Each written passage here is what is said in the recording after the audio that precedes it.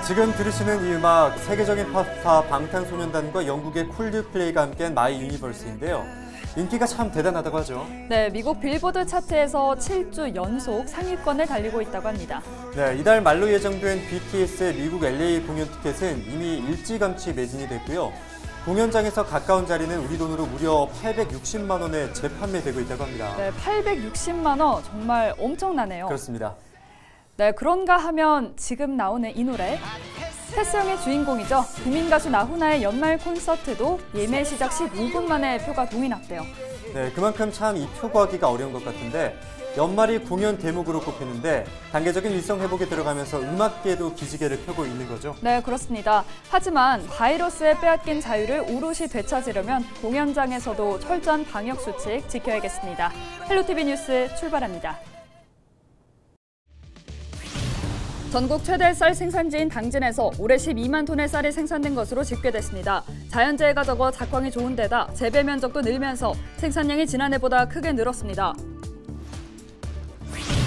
한국동서발전이 당진발전본부 설비공사를 발주하면서 고철도 매각하는 방식으로 불법 계약을 했다는 의혹이 제기됐습니다. 지역 장애인단체는 계약 해지를 촉구하며 감사원에 감사를 요청했습니다.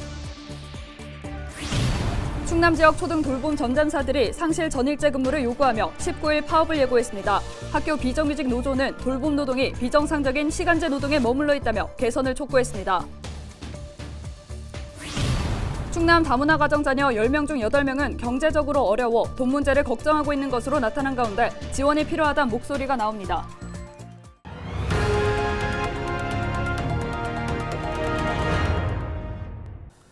당진은 전국 최대 쌀 생산지인데요. 특히 올해는 쌀 생산량이 크게 늘었다고 합니다. 자연재해가 적어서 작황이 좋은 데다 재배 면적도 늘었기 때문인데요. 공공비축 및 수매 현장을 정선영 기자가 다녀왔습니다. 수매장에 벼를 가득 실은 트럭이 줄지어 서 있습니다. 벼 포대를 옮겨 무게를 재고 품질을 검사한 뒤 특등부터 3등까지 등급을 결정합니다. 올해 충남에선 대체로 작황이 좋아 풍년이라는 분위기입니다. 농민들은 추수 직전 때 아닌 가을 장마로 고생했지만 태풍과 집중호우 피해가 컸던 지난해보다 기상 여건이 양호했다고 말합니다. 작년보다는 올해 농사는 좀 작황이 잘 됐어요. 가을에 와서 비가 많이 와서 농민들이 지금 엄청 고생을 많이 했죠. 그런 걸 비해서는 올해 풍작을 했습니다. 전국에서 쌀 생산량이 가장 많은 당진에선 올해 12만 톤의 쌀이 생산됐습니다. 작황이 좋지 않았던 지난해보다 19%나 늘어난 양입니다. 다른 작물로 대체하면 보조금을 지원하는 사업이 종료되면서 벼 재배 면적도 5.6% 증가했습니다. 당진시는 공공 비축미로 올해 산물벼와 건조벼 6,600여 톤을 매입할 계획입니다. 매입 가격은 10월에서 12월 전국 평균 산지 쌀값을 기준으로 결정됩니다. 비가 자주 와서 어, 품질 관리하는데 매우 어려움이 있었을 텐데요. 그래도 어, 풍년 농사 지었다고 해서 정말 다행입니다. 정말 고생하셨고요. 에, 지금 수매를 시작했는데 우리 농민들이 에, 품질 관리 잘하셔서 높은 수매가 특등 전부 받으시기를 바라겠습니다. 통계청이 발표한 올해 전국 쌀 생산량은 388만 2천 톤으로 지난해보다 10% 이상 증가했습니다. 이달 초 산지 쌀값은 20kg당 5만 3,800원대로 지난해와 비슷한 수준. 어렵게 회복됐던 쌀값이 앞으로 다시 떨어질 것을 걱정하는 농민들은 정부가 초과 물량을 매입해 시장에서 격리해야 한다며 대책을 촉구하고 있습니다. 헬로티비 뉴스 정선영입니다. 한국 동서발전이 설비 공사를 하면서 고철 매각을 끼워 넣는 방식으로 불법 계약을 했다는 의혹이 제기됐습니다. 박세훈 국민의힘 중앙위원회 부의장과 당진 지역 장애인단체는 동서발전이 당진 발전본부 환경설비 성능 개선 공사를 발주하면서 수십억 원 상당의 고철을 매각하는 계약을 함께 체결했다며 이는 불법이라고 주장했습니다. 그러면서 고철 매각 계약은 최고가 경쟁 입찰이 원칙이며 예외적으로 중증장애인 생산시설들과 수의 계약을 할 수 있다고 강조했습니다. 이에 대해 동서발전 측은 고철을 신속히 처리하기 위해 공사 시행자와 위임 계약을 추진했다며 법적으로 문제가 없는 것으로 판단했다고 밝혔습니다. 충남 지역 초등 돌봄 전담사들이 상시 전일제 근무를 요구하며 파업을 예고했습니다. 전국학교 비정규직 노동조합 충남지부는 코로나19 위기 상황에서 빛났던 돌봄 노동이 비정상적인 시간제 노동에 머물러 있다며 안정적인 돌봄 체계 구축을 위해 상시 전일제 근무로 전환해야 한다고 주장했습니다. 이들은 만일 개선안이 받아들여지지 않으면 오는 19일부터 파업에 돌입하겠다고 밝혔습니다. 네, 코로나19 여파로 일자리가 줄면서 외국인 이주민들도 경제적으로 어려움을 겪고 있는데요. 충남 다문화 가정 아이들 대다수가 가정 형편을 걱정하고 있다는 조사 결과가 나왔습니다. 정서적 안정이 중요한 아이들에게 부정적인 영향을 줄 수 있는 건데요. 정호석 기자가 보도합니다. 코로나19가 장기화되면서 다문화 가정의 경제적 상황은 더욱 어려워졌습니다. 공장에서 일하는 경우 코로나로 작업량이 감소해 임금이 줄거나 1순위로 해고 대상이 되고 있습니다. 한국어가 미흡한 외국인은 일자리 찾기가 더 어려울 수밖에 없습니다. 견우 이주 여성이 한국어도 안 되니까 고, 취업 구하는 게 좀 많이 힘든 상황이 더 많이 겪고 있습니다. 더 큰 문제는 아이들이 집안의 경제적 어려움으로 부정적인 영향을 받고 있는 겁니다. 충남 여성정책개발원의 돈의 다문화 가정을 대상으로 한 설문조사를 보면 집안의 돈 문제를 걱정하는 다문화 가정의 아이는 약 80%로 집계됐습니다. 심지어 30%의 아이들은 슬프거나 절망감을 느끼는 것으로 나타났습니다. 전문가들은 가정 형편에 대한 걱정으로 아이들이 학업에 집중하지 못해 꿈을 포기하는 일이 생기고 있다고 말합니다. 부모들이 느끼는 경제적 어려움, 가정 형편 이런 것들이 이제 특히 아이들이 성장하면서 중학교에서 고등학교로 올라가면은 나이가 됐을 때는 더욱더 그 아이들이 그걸 많이 느낀 것으로 보입니다. 이런 가운데 지자체가 다문화 가정 아이들을 지원하는 사업이 도움이 되고 있습니다. 정기적인 가정 방문을 통해 아이들의 사회 적응을 돕고 있습니다. 이와 함께 온라인을 이용한 단계별 수업과 바이올린과 합창 등 예체능 수업을 통해 교육의 기회를 확대하고 있습니다. 앞으로는 학교와 협력해 다양한 활동을 추진할 계획입니다. 학교 교육과 같이 어, 세계 시민 교육을 진행할 수 있도록 그래서 이 아이들이 다 같이 함께 다문화 수용성이 지향할 수 있도록 그렇게 체계를 마련하고자 합니다. 코로나19 확산 속에서 다문화 가족 역시 경제적으로 힘든 상황. 아이들을 위해서라도 지자체 차원의 세심한 지원이 요구되고 있습니다. 헬로티비 뉴스 정호석입니다. 충남도가 고액 상습 체납자 650명을 도 홈페이지 등에 공개했습니다.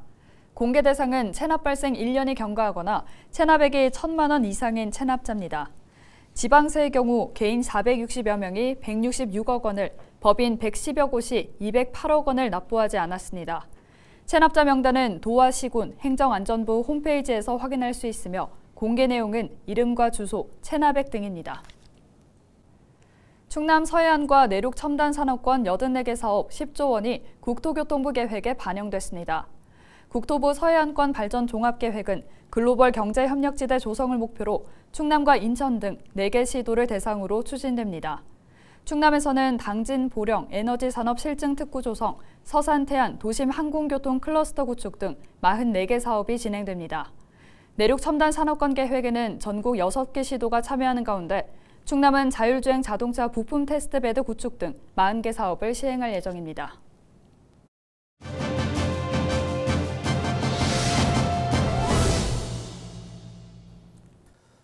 코로나19 장기화 속에서 디지털 콘텐츠 산업이 빠른 속도로 성장하고 있는데요. 충남정보문화산업진흥원이 충남 글로벌 게임센터를 통해 게임 기업 수요에 맞춘 인재 양성 아카데미를 운영해 가시적인 성과를 거뒀습니다. 네, 충남정보문화산업진흥원 실감 클러스터 본부 이지연 책임 전화 연결해서 자세한 내용 들어보겠습니다. 안녕하십니까? 네, 안녕하세요. 충남정보문화산업진흥원 실감 클러스터 본부 이지연 책임입니다. 네, 먼저 충남 글로벌 게임 센터가 어떤 곳인지 소개해 주시겠어요? 충남 글로벌 게임 센터는 문화체육관광부와 한국콘텐츠진흥원, 충남도, 아산시의 지원을 받아 구축된 충남 지역의 게임 산업 육성 인프라입니다. 이를 통해서 충남 지역의 게임 기업을 발굴, 유치, 육성하고 글로벌 시장에 진출할 수 있도록 지원하고 있습니다. 여기에 지역 게임 산업 성장의 선순환 구조를 만들고자 지역 게임 인재를 양성해서 취업 또는 창업할 수 있도록 지원하고 있습니다. 네, 센터에서 지난 3개월간 기업 맞춤형 인재 양성 아카데미를 운영했다고 들었는데 어떤 교육이었는지 짚어주시죠. 네, 지역 게임 산업을 양성하기 위해서는 전문성을 갖춘 인재가 필수적입니다. 2021년 게임 기업 수요 맞춤형 인재 양성 아카데미는 이름 그대로 충남 지역에 있는 게임 기업의 채용 수요를 바탕으로 개설한 게임 특화 교육과정입니다. 게임 기업의 채용 수요를 기반으로 했기 때문에 교육 후 우수 수료생인 경우 바로 취업까지 연계가 가능합니다. 그렇기 때문에 충남에 있는 예비 취창업자를 대상으로 진행되었습니다. 게임 애니메이션, 게임 프로그래밍, 게임 마케팅, 게임 사운드 이렇게 4개 과정이 개설되었고요. 총 66명의 수료생을 배출하였습니다. 게임 산업에 대한 청년들의 관심이 높은 만큼 프로그램에 대한 만족도도 높았을 것 같은데요. 현장 반응은 어땠나요? 네, 교육생의 만족도가 매우 높았습니다. 그 이유는 4개의 교육과정의 강사진 전원이 지역 게임 기업의 소속으로 실무 경력 15년 이상 된 분들이었습니다. 이러한 전문가들이 포트폴리오 제작 위주의 소규모 도제식 교육을 진행하다 보니 타교육과 차별화됐고요. 실무 능력을 제고시키기에 좋았습니다. 즉, 질 높은 교육을 국비 지원 무료로 거주지 인근에서 받을 수 있었던 것입니다. 이뿐만 아니라 우수 성적 수료생일 경우 지역 기업과 연계하였고 실제로 6명의 수료생이 어, 게임 기업의 인턴 혹은 직원으로 채용되었습니다. 이 부분에서 게임 기업 역시 만족도가 높았는데요. 교육기간인 3개월 동안 호흡을 맞춘 인력을 채용할 수 있었기 때문입니다. 결과적으로 취업 희망자와 지역 게임 기업 모두를 만족시킨 교육이었다라고 자체 평가하고 있습니다. 끝으로 센터의 또 다른 사업 계획에 대해서 소개해 주시죠. 네, 앞으로 충남 글로벌 게임 센터는 지역 대학의 게임 학과와 또 게임 기업 간의 인재 매칭을 지원하기 위해 교육 학점 연계, 온라인 취업 설명회, 인턴십 지원 등 다양한 프로그램을 운영할 계획입니다. 이런 교육뿐만 아니라 게임 산업을 성장하기 위한 게임 기업 발굴 유치, 게임 제작 지원, 창업 지원, 게임 제작 대회, e스포츠 등 게임 관련된 다양한 지원을 어, 열과 성을 다해 할 예정입니다. 네, 오늘 말씀 잘 들었습니다. 지금까지 충남정보문화산업진흥원 실감 클러스터 본부 이지연 책임과 이야기 나눴습니다.